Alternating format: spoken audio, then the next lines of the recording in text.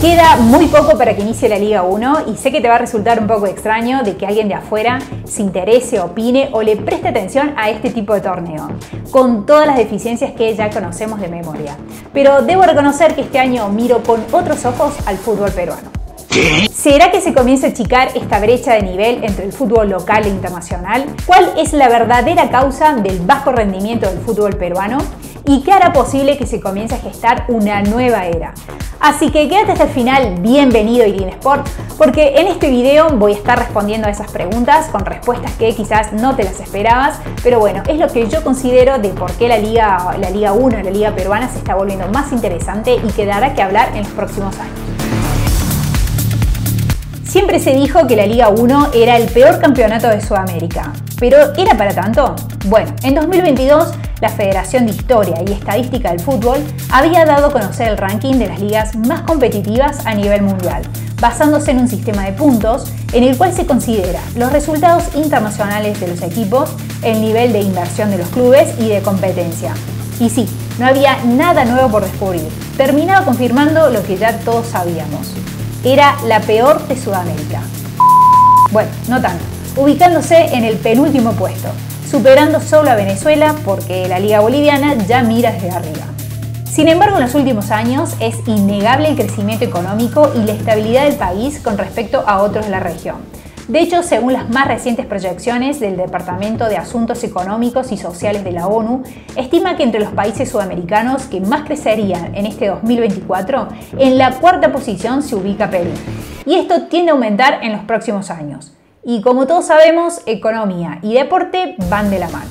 Sin ir más lejos, en este año a nivel sudamericano la Liga 1 se ubica en el puesto número 6 del ranking del sitio Transfer Market en cuanto a su cotización, todavía con una diferencia monstruosa con respecto a Brasil a la Serie A o a la Liga Argentina que tienen los planteles más caros y que mueven muchísimo dinero, pero superando a Uruguay, uno de los países más exportadores de jugadores y que además los tienen las principales ligas europeas, y también a Paraguay, que tiene el tercer torneo más competitivo a nivel sudamericano. Bueno, no todas son malas, ¿no? Y esto se debe a las grandes contrataciones que vienen realizando los clubes peruanos para reforzar sus equipos que han incrementado considerablemente sus valores en el mercado de pases. Y no tengo duda que esto irá en aumento en adelante. Por ejemplo, con la llegada de Sebastián Rodríguez, el uruguayo exjugador de Peñarol, al club Alianza Lima que hizo que el cuadro blanqueazul llegara a una cifra récord y se convirtiera en el club más caro de la Liga 1 2024, alcanzando los 16 millones de euros. Pero bueno, no solamente hizo este tipo de inversiones fuertes este año, sino también en el anterior, donde se contrataron jugadores como Cristian Cuevas, Zambrano, Zabal, pero bueno, no fue lo que se esperaba y que las inversiones tampoco fueron muy bien gestionadas. Muy de cerca le sigue el Sporting Cristal, que con la presencia de Ignacio da Silva y Joao Grimaldo, el cuadro rimense está valorizado en unos 15 millones y medio de euros aproximadamente, pero a pesar de todos los refuerzos que se hicieron este año, el año anterior ficharon a un técnico como Thiago Núñez, Quizá el hincha no esté muy contento porque no se consiguió avanzar en la Libertadores ni conseguir el título local, pero se dejó una idea de juego, una escuela brasileña, con un proyecto de desarrollo deportivo, como fue la implementación del Departamento de Fisiología, con el objetivo de estudiar y obtener data importante sobre el rendimiento de los jugadores que ayuden en los próximos desafíos. ¿Y qué es lo que hoy en día el fútbol requiere? Luego sigue el campeón peruano universitario de deportes, que tras la salida de Piero Quispe su valor tuvo una baja considerable y bueno, ahora el club está valorizado en unos 13 millones de euros. Pero ficharon un técnico como Jorge Fossati, que después de 10 años le volvió a dar la alegría del título al hincha crema y que hoy por hoy es el técnico de la selección peruana y donde se ponen todas las expectativas de clasificar a un mundial nuevamente. Y para cerrar con los cuatro valiosos, no podemos olvidarnos ni dejar afuera a Melgar, que pese a no haber realizado una gran cantidad de fichajes, alcanzó los 11 millones de euros el cual por su paso estuvieron técnicos como Néstor Lorenzo, que ganó títulos y con una excelente campaña en Copa Sudamericana haciendo historia con este equipo, y que es uno de los clubes provincianos con uno de los proyectos deportivos más serios del Perú. Inevitablemente esto hace que se esté mirando con otros ojos al mercado peruano. Y de hecho no es casualidad que muchos técnicos y jugadores prefieran venir acá. Y sé que ahora me dirás de que se traen jugadores veteranos, que están próximos al retiro, que no son tenidos en cuenta en sus países, técnicos sin experiencia en primera y bueno, en algunos casos estoy de acuerdo, pero en otros no. Pienso que esto irá mejorando porque esta brecha se irá achicando cada vez más. Si quieres ver más análisis del fútbol peruano, suscríbete a este canal porque voy a estar subiendo mucho más videos.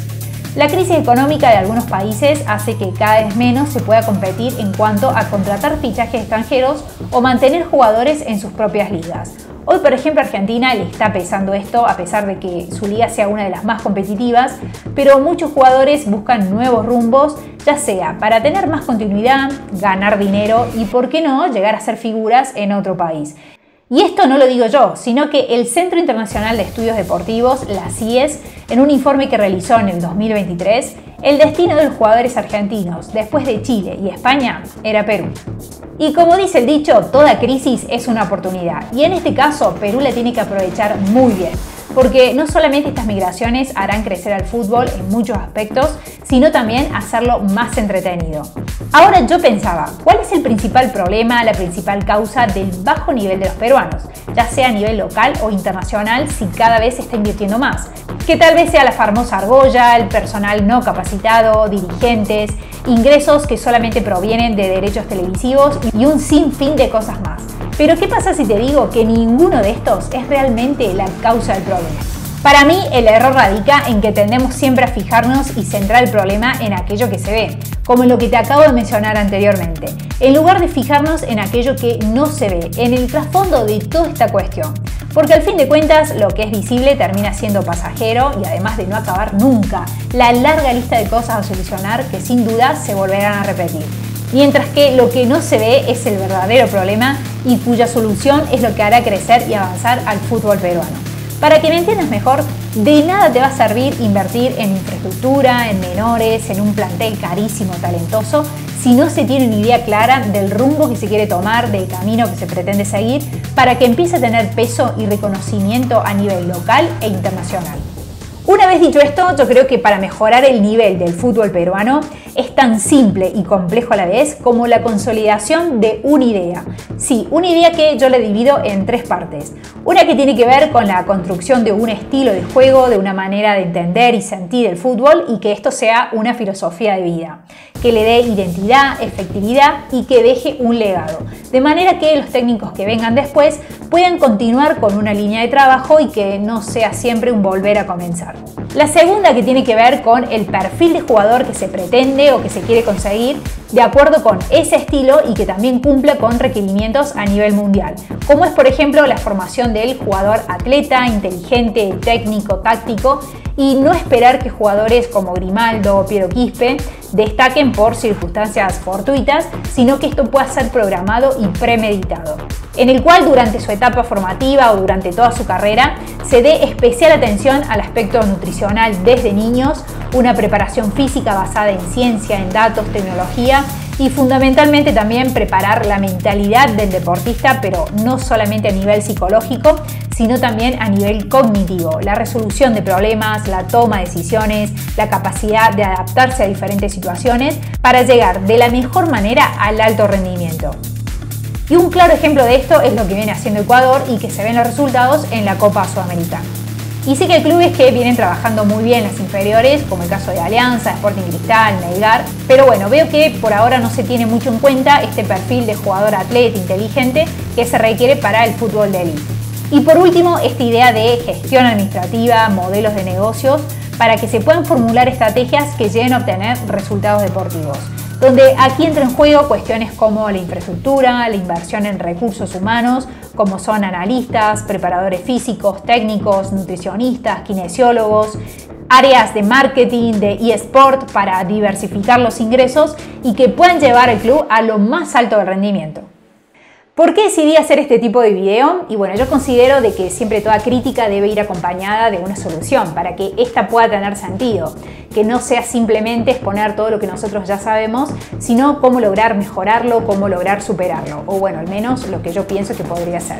En mi opinión, Perú lo tiene todo para crecer, estabilidad económica, inversiones, jugadores talentosos de buen pie, una geografía que le permite al jugador adaptarse a diferentes ambientes, a diferentes lugares, el ojo puesto en el mercado de pases y es este salto de calidad, esta intención de profesionalizar el fútbol en algunos clubes lo que me genera y me despierta estas grandes expectativas y este interés por el fútbol peruano. Pero bueno, espero que esto se dé de manera sostenida. Falta mucho camino por recorrer aún, pero bueno, yo creo que de acá a unos años la Liga 1 dará mucho de qué hablar y por qué no llegar a tener este reconocimiento y peso internacional en pocos años. Y esta ha sido mi opinión sobre la Liga 1, de las expectativas que tengo, porque yo considero que puede llegar a ser interesante, pero me encantaría saber tu opinión, que me dejes aquí abajo en los comentarios, si crees que se está llegando al fin del bajo nivel de los peruanos en el fútbol sudamericano. Y no te olvides de suscribirte al canal, dejarme tu manita arriba, porque es la forma que tienes de apoyarme para seguir creando más contenido como este. Y también te invito a seguir viendo más videos en mi canal. Chao, chao.